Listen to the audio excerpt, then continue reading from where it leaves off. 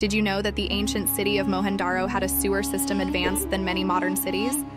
The inhabitants utilized sophisticated techniques to manage wastewater, showcasing their engineering brilliance. Clay pipes, covered drains, and manholes were part of this innovative system, displaying their meticulous planning. Mohenjo-Daro's sewer system not only maintained hygiene, but also reflected the city's organizational skills and technological advancements. So, next time you flush your toilet, remember the remarkable engineering feats of the past.